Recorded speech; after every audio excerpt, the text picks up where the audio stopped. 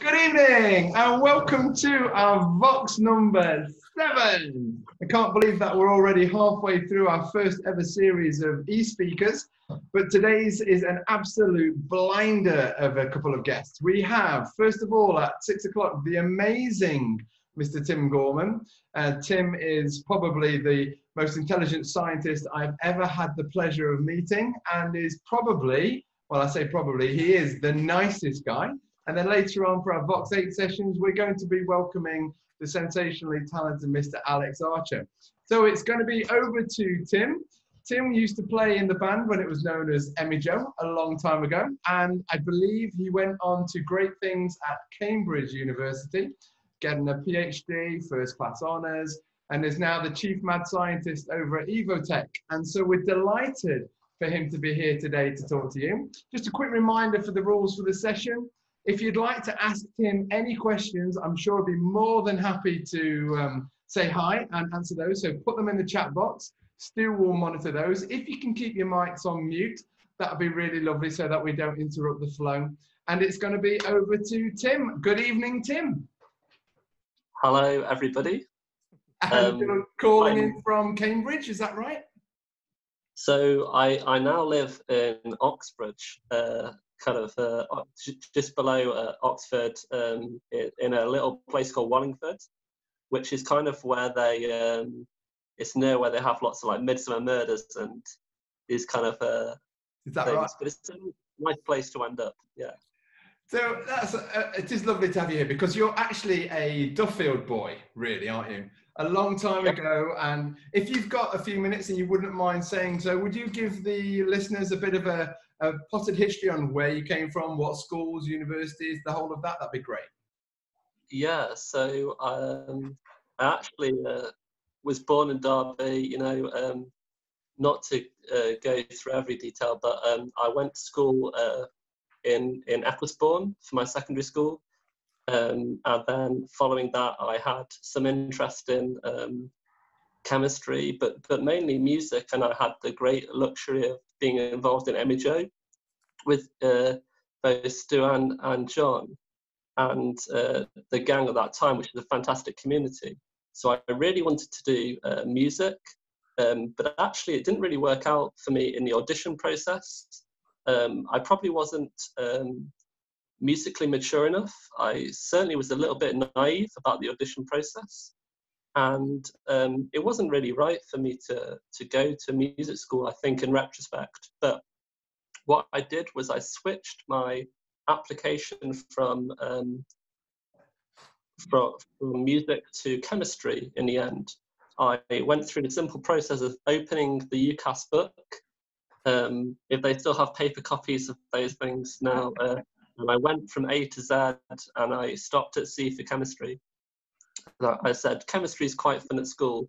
I'll do chemistry. So I went to MYJO. Um, I went to school at, at Ecclesbourne, and then I went to York first of all for undergrad. And on day one of uh, York, I found the the jazz band, and I signed up, and they said, "Very nice, you can have an audition." I did the audition, and they said, "Yeah, you're in. You can have uh, first seat or whatever." And they said, see your practices on Monday. But that was a problem because um, Monday was also the chemistry labs.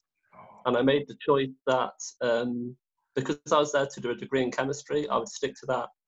And that stopped me from staying involved in music at York um, when I look back at that now. So I, I, actually didn't do very much music for a long period of time. Um, I carried on with chemistry wholeheartedly and that was probably something I did well, get really involved. And I did summer um, research placements every year at York, and then um, with different professors. And I also went around, so I went to Imperial for one summer, um, and I got a research placement at AZ. So I did my master's year at AstraZeneca. Um, and then I went to Cambridge because I'd kind of climbed a bit of a ladder uh, and near the top of my year. So I got into Cambridge to do my PhD, and I finished that, and I went to Oxford to do a postdoc. Um, still in um, the same kind of research. So this will be in looking at um, organic synthesis. So that's uh, making uh, molecules in an intelligent way for a, for a purpose. And then we um, apply those techniques and publish them and communicate what, what we've discovered. So it's cutting edge, you know, uh, research. And hopefully if people in pharmaceutical industry, people in agrochemicals can apply those new techniques um, to benefit them being able to make the molecules they want to make. So we're inventing the ways and they're using them to make the molecules they want to make. And then uh, that kind of experience led me to get a job at uh, a pharmaceutical company. So I now work at Evotec, um, which is uh, based in kind of Didcot area. And uh, hopefully I'm going to uh, cure many diseases and win various prizes and stuff there. But at the moment, that, that's how it's going. So, what, what, can you just go through again what you actually do for the layman? Because there's some people here who are definitely not scientists or into medicine in the same way. What what is your job now? You know, at Evotec. So you just go through it in very simple language for us. Yeah, yeah. So I I turn up to work and I have a list of molecules that I'm trying to make. Um, and the way that I would look to do that is I will using uh, you know specific websites and my own knowledge, I can design a route to make these molecules, which is like a series of recipes. Um, and I'll order the chemicals and I'll do it myself. You know, mix the chemicals in a in a glass flask, um, and then I will use various uh, techniques to prove that I've made what I wanted to make, and then I will send them probably to Germany or to a facility to test them and see whether they have an effect. So I'm trying to work on a specific type of cancer. So what I would do is we would have um, in in the simple case tests, you know, um, to say is this molecule having an effect, and if it's not, then there might be reasons we could suppose. And then we'd make another molecule.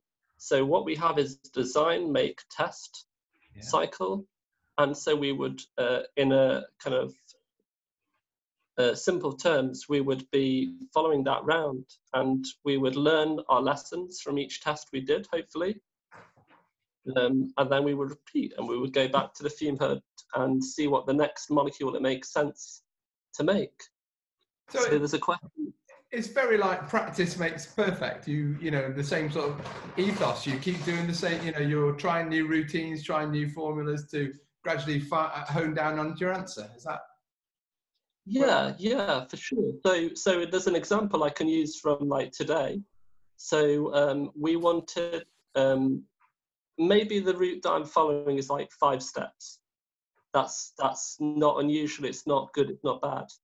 But there might be a difficult step at the start, and so I would start on a small scale, and I would try a couple of different ways to make it or um, maybe if the difficulties later on, then I could make a big batch of uh, one of the intermediates, and then I could um, trial a couple of different ways to make it. And so, if I'm lucky, they're pretty established, and the kind of um, ex- resulting literature is is pretty close. And maybe it's maybe it's not. So maybe I have to be more creative, and um, and it takes longer. So there's an idea that if you make the right molecule, it's worth spending time on. So there's a question like, how long would it take to make a molecule from my list? It, it could be uh, as simple as a day if I had good intermediates that were close to what I want, good building blocks. It could be uh, I, you know, months, because if it's worth it to get the answer, then it's, it's worth it. Yeah. And what what happens now? Well, you know, once you've finished this and it's gone off to testing, how does that then get to market? You know, what are the challenges? Is it licensed, patented? You know, what happens? Does your company do that as well? So I, um, this is a cool thing to be able to say. Something that I had an input in the design of uh, was included in the patent. So that's not uh, unusual. Lots of things are covered by patents as you can imagine, it's um, intensely valuable intellectual property. So then um, the steps following just making a molecule would be like it has to have favorable results in the test. and we would give uh, we would make more so that we could uh, test it in increasingly complex ways. So in the first way, it would just be um, an isolated uh, protein, and then it might we might test it in the context of a cell, but the cell's not in a living organism, and then we would test it maybe in a in an organism, you know, a, a mouse, or increasingly complicated. Um, so actually, like an angelfish, are like really for some weird reason a good a good way to test something.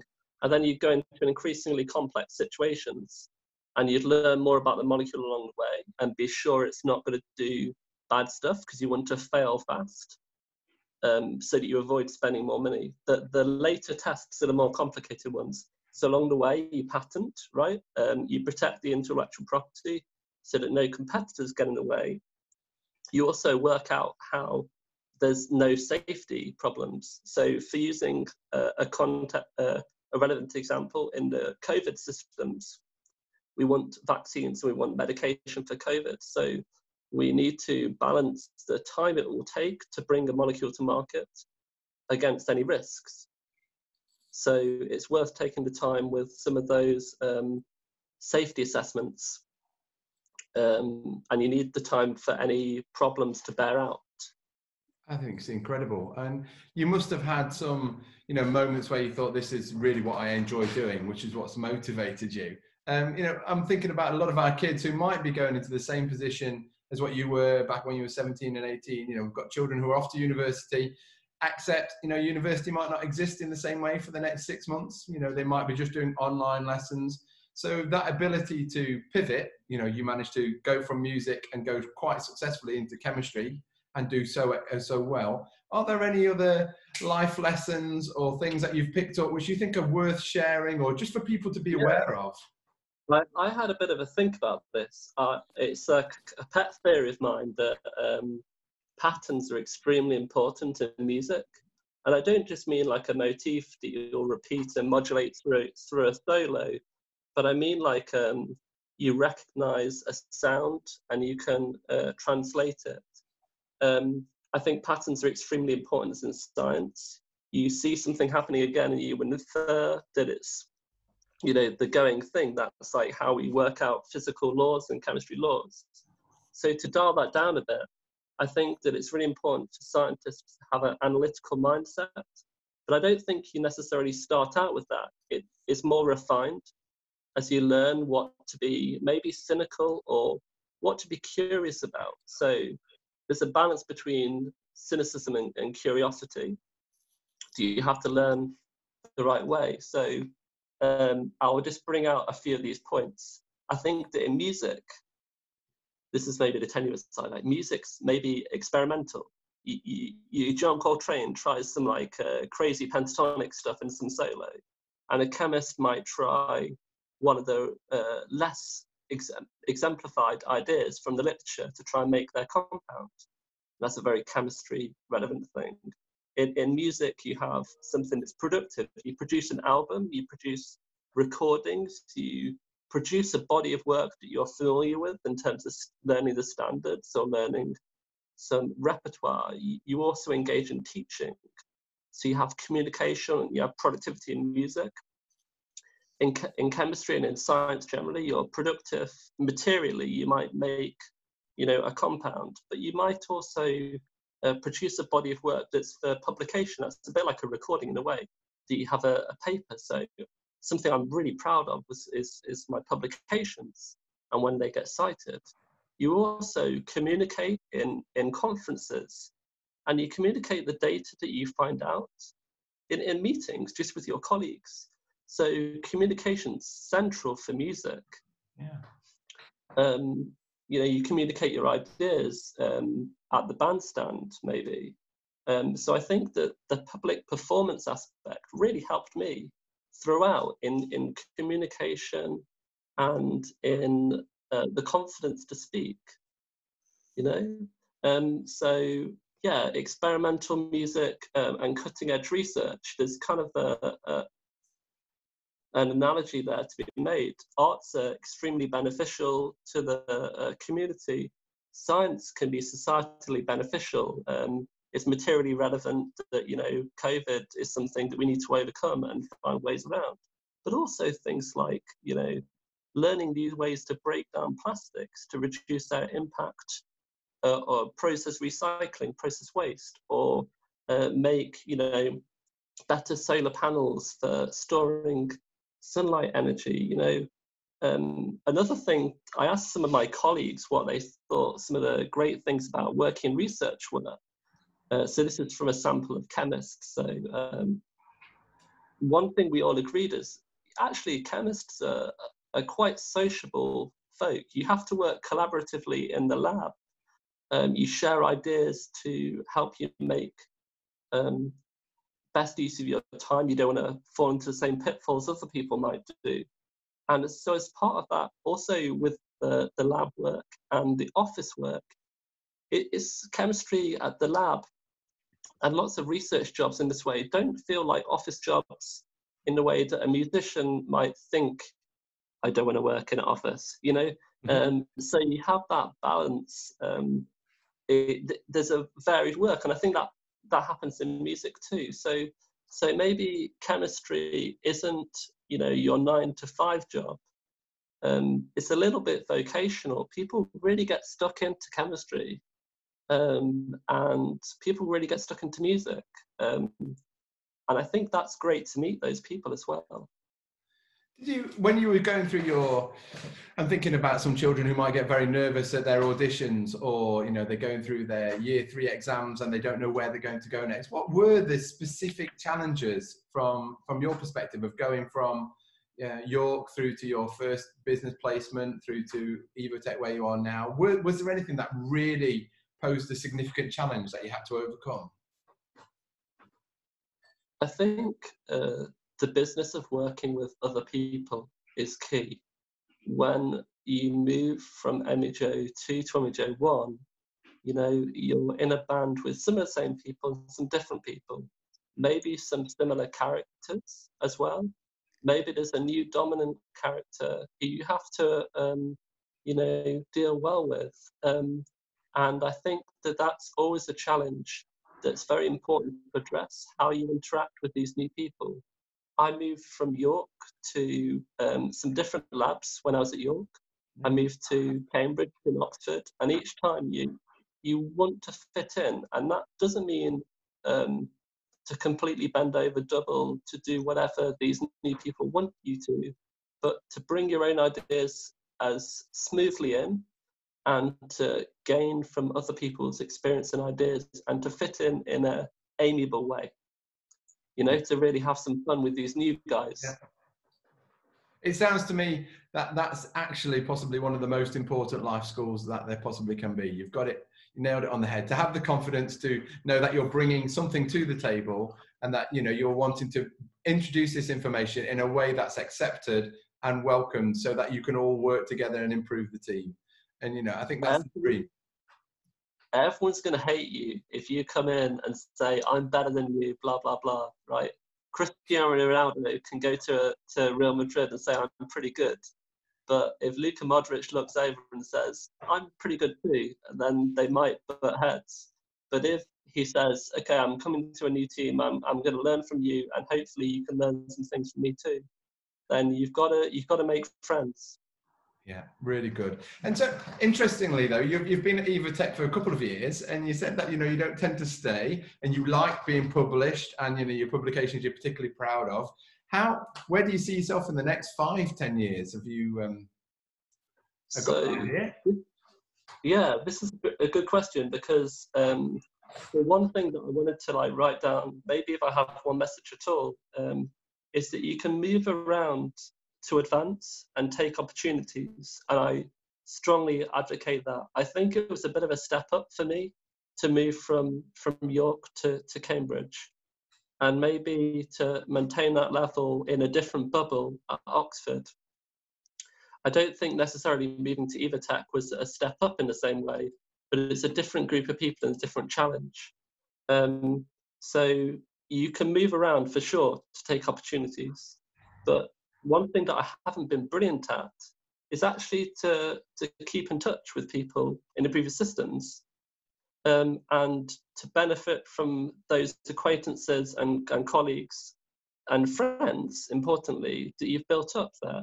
And to, to build that network actually is really invaluable. I want to stay at Evotec and I want to do well there and I want to um, uh, I think the word is like stabilize maybe you know to to to benefit from staying somewhere for a while. And um, that stability i think can bring a kind of comfort that you're not looking for the next thing. Yeah yeah, I think it's fab, Tim. Honestly, I could talk all day, but we have got some great questions coming in. If it's okay, I yeah. can share them. Now, you said that you didn't do much music at York. In fact, one of our uh, directors actually went to York to do music, and he was in the Monday Night Band and would have met you if you'd have um, made it there. Yeah. But um, a lot of them are interested. In, are you still doing any music today? Have you picked it back up again? So I have. I have. Um, and uh, about um, when I moved from um, when I moved to Oxford, I knew that I wanted to, after like the heavy hours of the PhD, uh, and to some extent heavy hours in the postdoc. So that's like um, you're working uh, in the PhD in a self-employed way, but it's kind of a crazy way as well. So I was working like uh, eight till uh, ten, like um, Monday to Friday at least, and then um, also uh, all of Saturday um, and doing bits on Sundays. It, it, was quite intense in that way. Um, and that was kind of expected and um, it's part of the, you know, the agreement you make, the kind of Faustian pact for the PhD. But um, I didn't make time for music.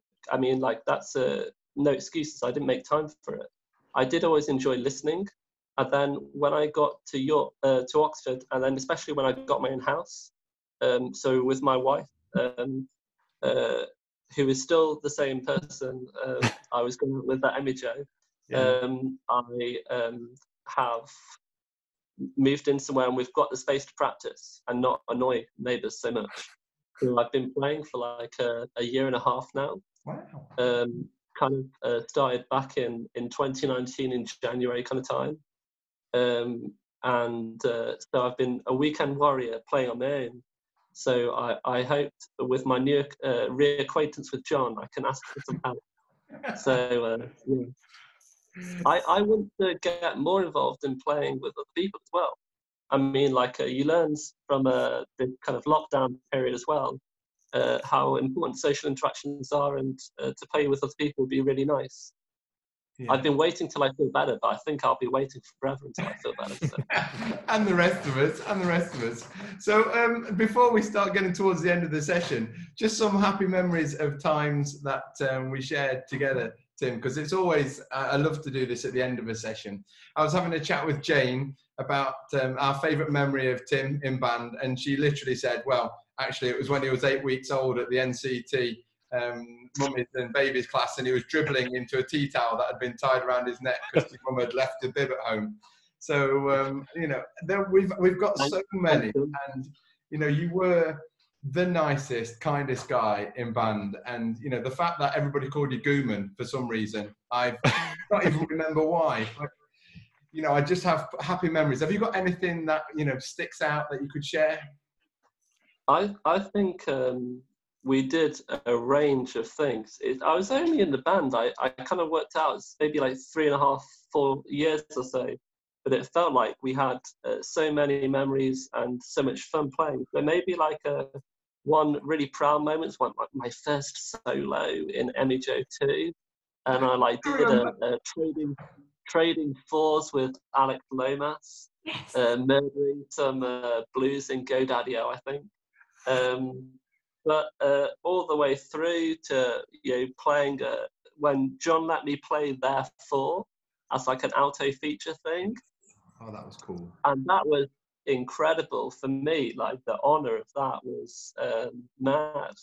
Um, and Jon looked mad at me when I missed an entrance when I played. So uh, you know, um, there was uh, a great amount of support to try these things to kind of uh, be allowed to fail as I often did, but to uh, you know get back next week and, and try again. the the fun we had and the good humour throughout uh, was fantastic. Yeah, um, and you know the guys incredible. So yeah. No, we love it, and you know it's been wonderful. In fact, just before I do finish off, there's a message from one of our directors, non-execs. He says, and whether this is true or not, scientists have recently discovered that humans give off a collective chemical signature depending on the emotions of the group. If that's the case, what would the chemical signature be of a of a band? What would it give it off? Is that true? Oh, I, I, I've not, I've not um, experienced that, but it would have to be like, um, let's go for dopamine, right? Like something that's like pure happy. That's amazing. Thanks, Tim. And you know, I'm sure if anybody wants to drop you a message about maybe how they get into chemistry or the good publications yeah. to read, I can share your, or they can get those details to me, and I'll forward them on. Is that okay?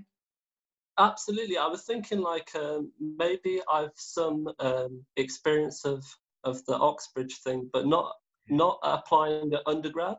But I could try and, and help. Um, definitely with chemistry um, and uh, the kind of interview type things. But honestly, I'd be happy to try and help with with any of these things. Um, and uh, even yeah, how, however I can help, I'll I'll try and help you.